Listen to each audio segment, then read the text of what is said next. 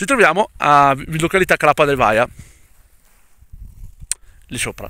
Da qui partiva la mulattiera militare che dalle zone di baraccamento qua sotto, dove c'erano anche le, mm, le due, le tre, scusatemi, eh, grotte di Covero e soprattutto la caserma sotto di Crapa di Vaia, Qui sopra davanti a noi, come vi ho già spiegato, c'era la postazione dove c'era la fuciliera o il mitragliatore qua sopra, come tutta la, la salita di questa montagna.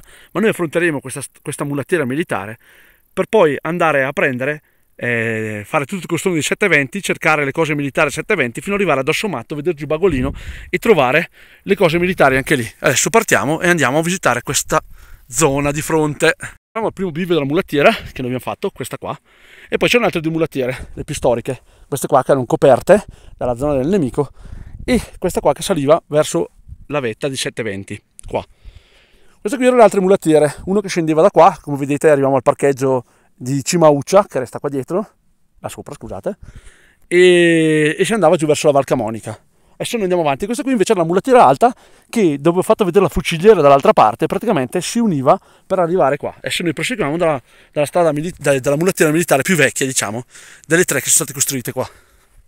Ci andiamo avanti. Ah qua davanti Dos dei Galli che racconteremo la storia della, della base e di quello che c'era prima tu calcola un pezzo della della mulattiera di guerra che portava Dosso Matto, vedete qua, mentre qua sopra passava la, la mulattiera che va su in cima a Dosso 720 che faremo in un altro filmato. Noi adesso andiamo verso eh, Dosso Matto. Un particolare della mulattiera,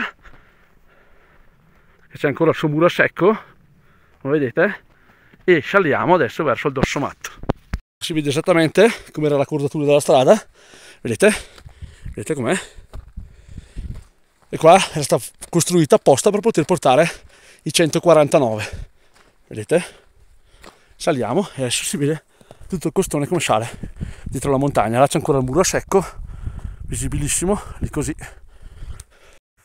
Eh, mi sono dimenticato di spiegarvi. Vedete qua sopra? Queste erano delle opere che era un sentiero una mulattiera perché vedete anche il muro a secco che andava qua dietro dove lì dietro se vedete nell'angolo là c'è ancora una caverna ricovero la vedi là sopra? Vediamo dritta davanti a noi? Verso sempre il nostro obiettivo. Il nostro obiettivo si poteva arrivare anche da qua vedete? Questa è una mulattiera che si staccava passava davanti a tutto il dosso che noi andremo a fare e si univa alle trincee dove noi vi faremo vedere dopo. Mentre noi proseguiamo la strada dei cannoni chiamata così e arriveremo al nostro obiettivo attraverso la strada dei cannoni qua siamo sempre nella bellissima valle fino allo 720 qua davanti a noi. Questa bellissima raccordatura che rimane ancora della strada militare, che stiamo facendo dei cannoni, vedete che spettacolo, e saliamo ancora. Mi sa che arriveremo là e non vedremo una beata minchia. Qua sopra l'esercito italiano ha usato, vedete qua sopra quel buco là, come grotta ricovero, usava anche i detriti che c'erano qua di, di, di marmo e la vedete là sopra che c'è un ricovero proprio lì